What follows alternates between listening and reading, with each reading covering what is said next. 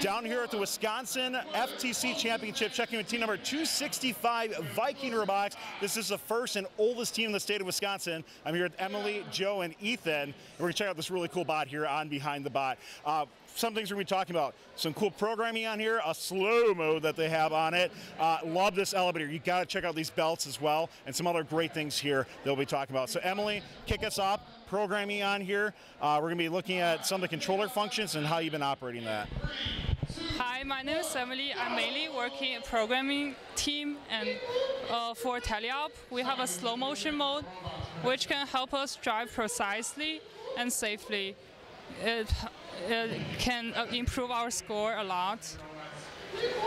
So when you hit this button, it can shift to a slow motion compared to the normal version, which is a lot faster. Do you know? Do you know how much it actually slows it down by?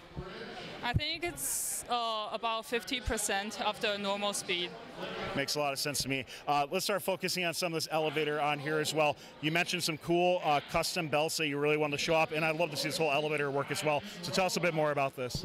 Oh yeah, something we got into actually last year with these belts was using these specific type of belts. These are actually the belts they use on 3D printers, so they're not too expensive. I'd honestly, I'd recommend almost every FTC team to be using these belts because they're just so convenient.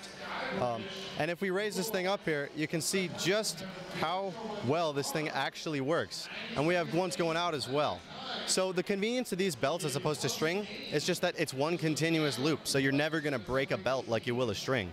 And this whole assembly, I'm very proud of this year, and it's been working working like a charm so far.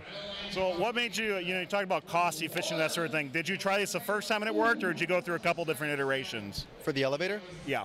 Uh, this was actually it didn't begin looking exactly like this. It actually had a couple more shafts attached to it, but we had to minimize for weight reduction and for cost. So it just goes to show every design's not going to work out exactly like you think on the first try. It takes persist persistence and it takes testing to know exactly what you have to do to improve it.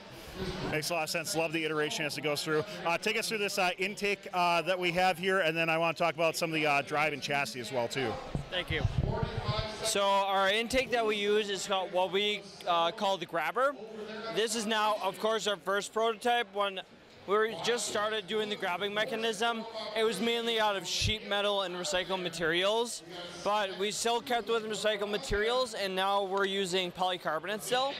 But it is a lot faster and is a lot stronger than we originally imagined. And with and it is we don't use a motor at all. We only use one servo, which allows us to use motors on more specific parts of our robot. But the best part is is the speed and maneuverability of the entire grabbing system, which is the, my favorite part about it.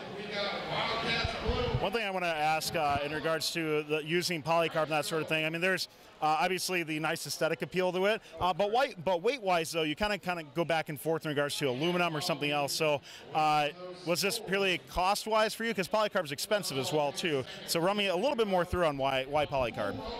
Uh, polycarb because we were on a tighter budget this year. We and a lot, a lot of our sponsors um, reacted to when we sent out information about our team, but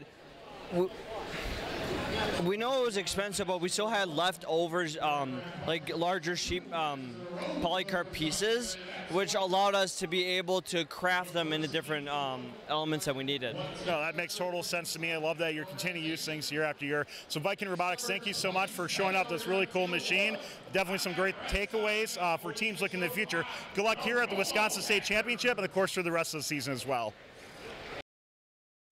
Thanks for watching. If you want more fun content, be sure to subscribe and ring the bell to be notified about our latest videos.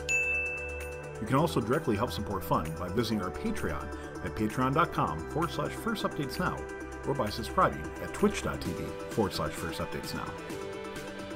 Thanks to all of our co-executive producers on Patreon and Tier 2 Plus subscribers on Twitch, keeping fun loud, live, and independent.